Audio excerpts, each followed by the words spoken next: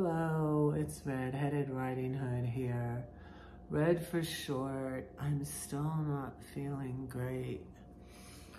So I don't even know if I'll go to church tomorrow, but um, we'll see. But I didn't want to miss a reading. So, influence. What we put into a child's mind and a child's life when he is young is there for good. That is what Ignatius Loyola meant when he made his famous dictum, give me a child for the first seven years of life and I care not who has him afterwards. Wow.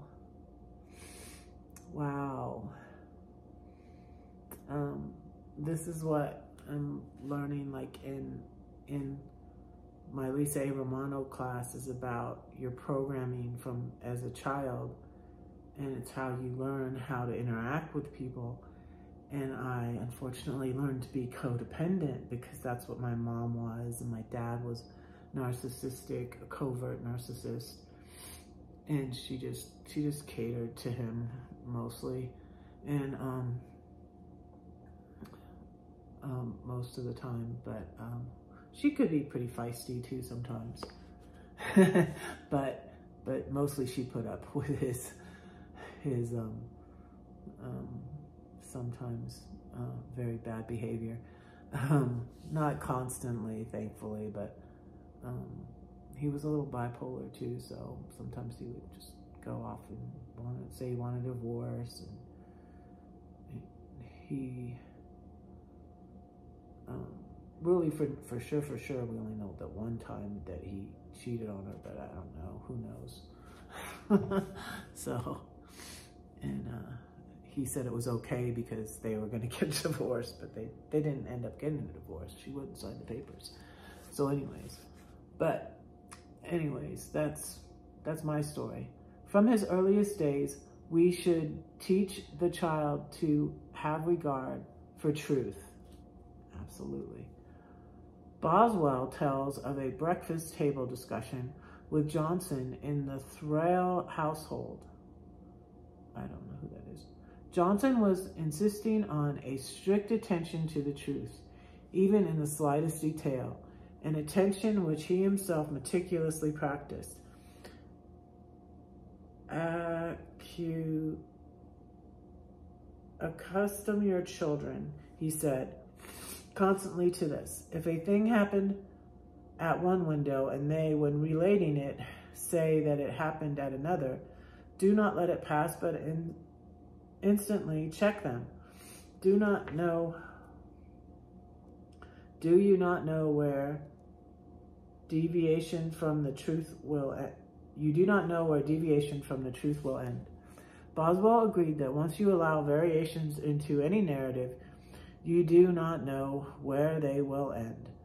Mrs. Thrale objected to what she considered an undue fussiness. Little variations in narrative, she insisted, must happen a thousand times a day if one is not perpetually watching. Dr. Johnson thundered, Well, madame, you ought to be perpetually watching. It is more from carelessness about truth than from intentional lying that there is so much falsehood in the world. Yeah. Um, yeah, I caught someone at work not telling the truth. Well, a couple, couple times, but you know, when they say they clean the scum line and they didn't clean the scum line. And the managers mentioned it when we had meetings. And then um, the other day, this one guard said he came in to check on things. The other guards that were there said nobody came in to check on anything the the chems were not written down in the logbook. And he's like, oh, I didn't come out here. Like, why would you not check in with the guards on the stand if you came in to check on things? And I'm like, what? Like, what?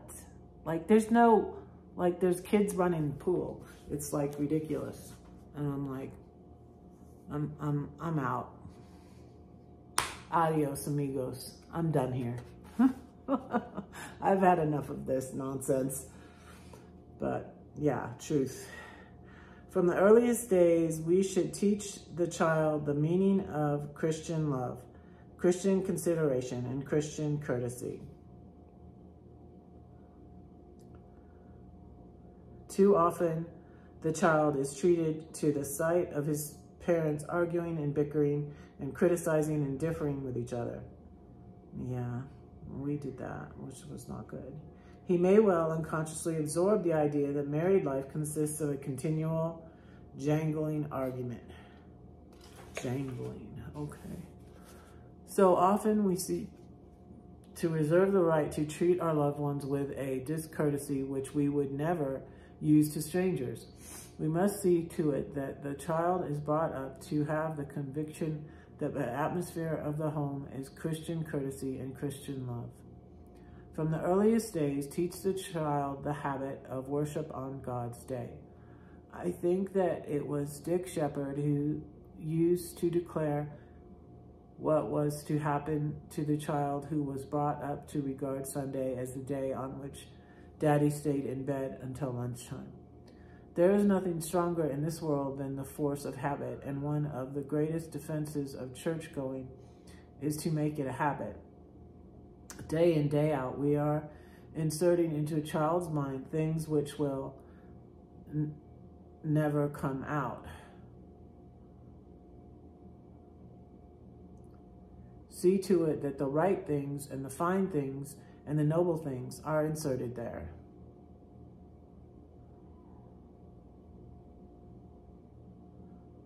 It says day in, day out, we are inserting into the child's mind things which will never come out. But I don't know why it says that because they do come out. See to it that the right things and the fine things and the noble things are inserted there.